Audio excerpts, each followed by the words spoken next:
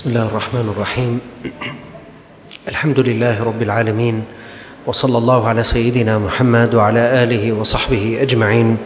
اللهم علمنا ما ينفعنا وانفعنا بما علمتنا وزدنا علما وعملا متقبلا يا أكرم الأكرمين. مورق العجلي.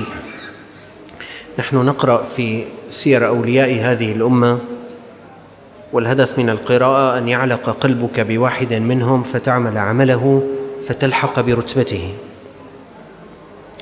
كان مورق يقول ما تكلمت بشيء في الغضب فندمت عليه في الرضا. ما تكلمت بشيء في الغضب فندمت عليه في الرضا. هو جرة العادة يا أخوان بأن المرأة إذا غضب غضبا شديدا أو إذا فرح فرحا شديدا سيطرت عاطفته على عقله فأخطأ. هلا كثير من الذين يطلقون زوجاتهم في غضب. حتى إذا انتهت ساعة الغضب وحاكم المسألة محاكمة عقلية ندم أنه أنا كان تصرفي خاطئ. عدد من الذين يفضون شركات يفضونها في لحظة غضب حتى إذا هدأ وذهبت العاطفة وحاكم المسألة للعقل ندم. والإنسان يسقط عند الغضب الشديد وعند الفرح الشديد. لأن الغضب الشديد والفرح الشديد عاطفتان تهويان بالعقل إلى أودية سحيقة. من أجل هذا دعا الإسلام المسلم أن يخفف من غضبه ويخفف من فرحه. وخير الأمور الوسط ليبقى عقله مسيطرا على عاطفته. هلأ نادر أن تجد انسانا إذا غضب غضبا شديدا يبقى محافظا على اتزانه العقلي. موجود هذا بس نادر. صعب جدا كيف أنا عاطفتي جاشت ثم عقلي هو المهيمن. صعب جدا. هلأ فيما يبدو مورق إما أنه كان من هذا النوع يقول ما تكلمت بشيء في الغضب فندمت عليه في الرضا أو أنه كان يصمت. هو أحسن شيء يلي مثلنا إذا غضبت اسكت. نصيحة يا شباب دربوا حالكم هي بدها تدريب. إنه أنت لما بيطلع خلقك تسكت. غالبا إذا حكيت حتخطئ. إلا ممكن الواحد يتدرب بس هذا بده تدريب كثير عالي إنه هو لو غضب بيحكي صح. مبدئيا أنت درب حالك. إذا غضبت اسكت. أحسن. لذلك نصيحة لا حدا يبيع بيته هو وغضبان.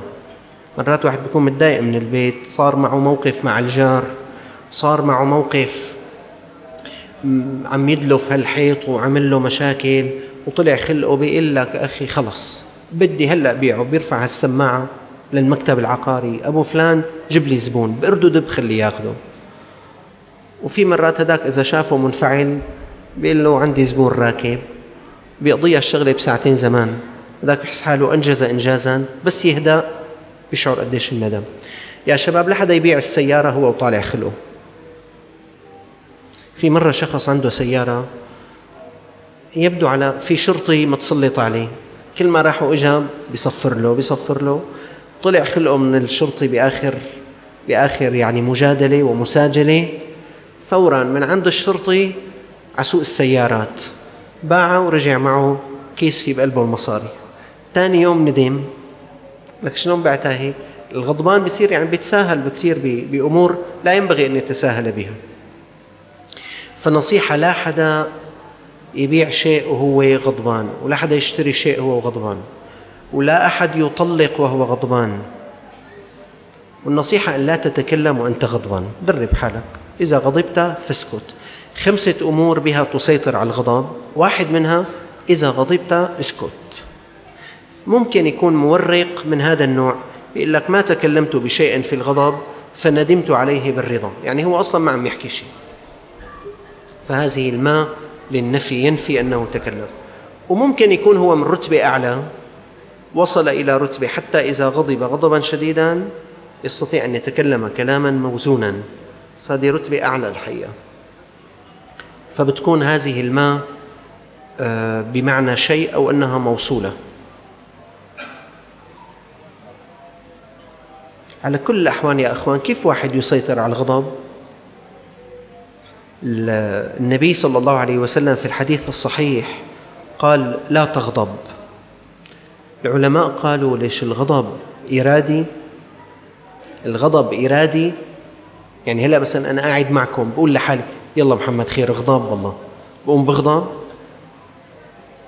الغضب لا إرادي أو أنا مثلا بكون غضبان بقول لحالي يلا اسكت الغضب تبعك يا محمد خير. بيقوم بيسكت الغضب. الغضب لا إرادي لا بدايته ولا نهايته. والأحكام الشرعية إنما تناط بالأمور الإرادية. كيف النبي صلى الله عليه وسلم قال لا تغضب؟ يعني مثل هلا مثلا لو لو قال النبي صلى الله عليه وسلم لا تحب شو لا تحب؟ شو هو أصلا؟ كمان الحب يعني هي شغلة إرادية الحب. لا بداية الحب إرادي ولا نهايته إرادي. فقالوا ما معنى حديثه صلى الله عليه وسلم والنبي معصوم؟ معصوم أن يخطئ في كلامه في تبليغه صلى الله عليه وسلم. قالوا لا تغضب يعني لا تفعل افعالا. يؤاخذك عليها الشرع إذا غضبت. يعني فلا تغضب معناتها لا تشتم إذا غضبت. لا تغضب لا تضرب إذا غضبت. لا تغضب لا تمتد يدك إلى حرام إذا غضبت. هي معنات لا تغضب. هلا كيف الإنسان يسيطر على الغضب؟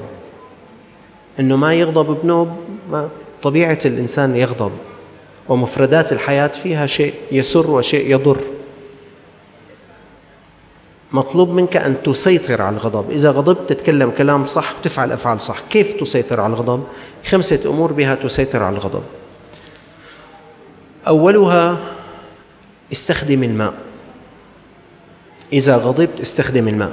قال رسول الله صلى الله عليه وسلم من غضب فليتوضأ. في رواية من غضب فليغتسل. فأنت طلع خلقك روح توضأ.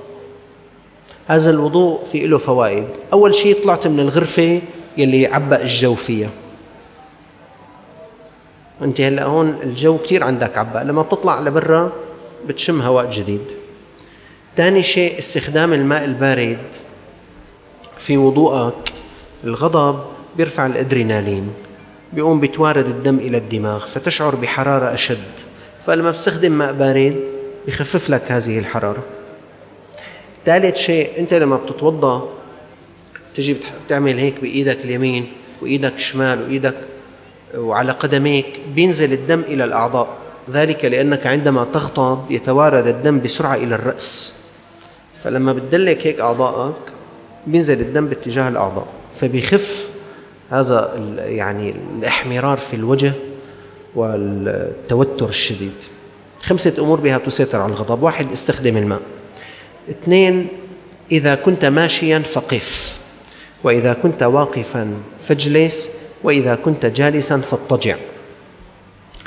ذلك لأن الماشي أذاه أكثر من الواقف. يعني إذا أنا غضبان وماشي بهالسيارة ومأفعى معي.